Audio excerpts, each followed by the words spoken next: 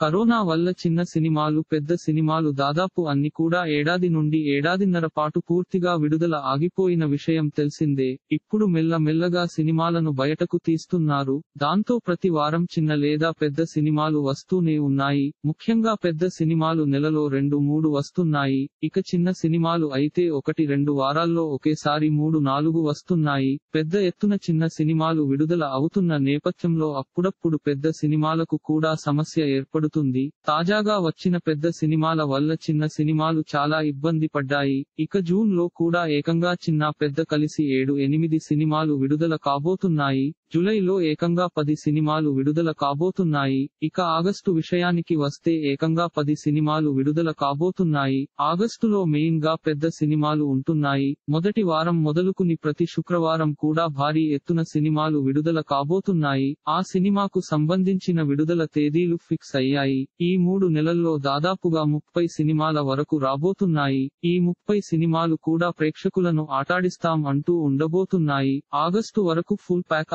అన్నట్లుగా సినిమాలు విడుదల కాబోతున్నాయి. ఈ మూడు నెలల్లో పెద్ద సినిమాల మధ్యలో చిన్న సినిమాలు విడుదల కాబోతున్నాయి. దాంతో చిన్న హీరోలు తమ సినిమాల పరిస్థితి ఏంటో అంటూ ఆందోళన వ్యక్తం చేస్తున్నారు.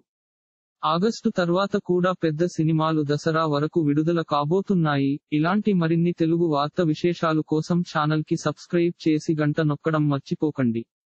ఈ వీడియోని తోటి మిత్రులకి షేర్ చేయండి. మీ అభిప్రాయాన్ని కామెంట్లో తెలపండి.